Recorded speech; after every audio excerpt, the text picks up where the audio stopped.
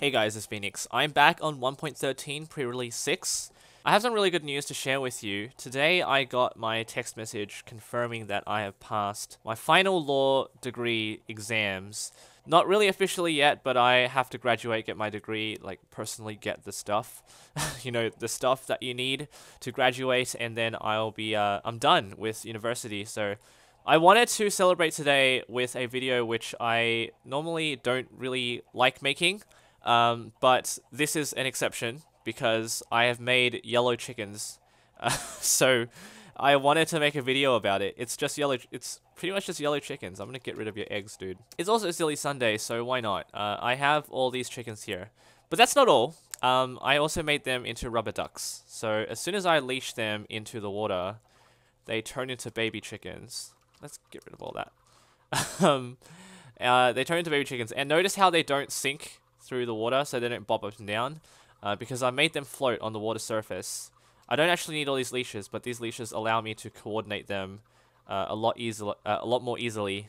So um, I can drag them across if I wanted to, fairly violently. So it's like I'm grabbing onto the rubber ducks, and uh, I can control them wherever I want them to to go.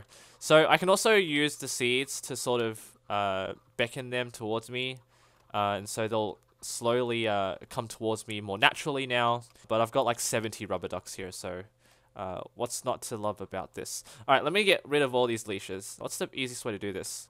Like this? There we go.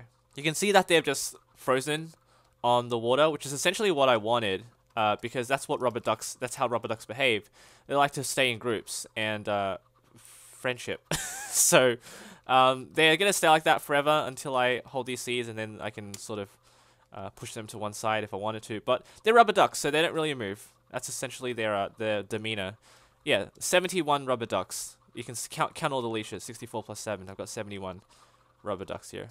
So you can enjoy that. That's um all I wanted to share with you. Uh, and so I guess if you uh, get them to follow you across, they're really slow. I guess if I wanted them to come towards me, um, they will grow up again. Why are they doing that? I guess that's how rubber ducks like to coordinate themselves, right? It's their formation, um, the rubber duck formation. So yeah, they return, uh, they regress. So they return back to their uh, original chicken state once they're out of the water. And they're back to normal now, yellow chickens. And then once they go back to the water, they become rubber ducks again. So anyway, there's only two command blocks here, right? Uh, one is just uh, the resource pack component, and then I have here um, execute as at e-type chicken. At s, if they're in the water, they can TP at that actual coordinate there, the water level, which is consistent throughout the world. Uh, unless, you know, you've got waterfalls or um, inside a cave. Is that an Enderman? No, it's not. I was distracted. And then I've got a chain command block here, which is uh, making them age 10, negative 10s. So this essentially means if they're in the water, they are babies. They're chicks.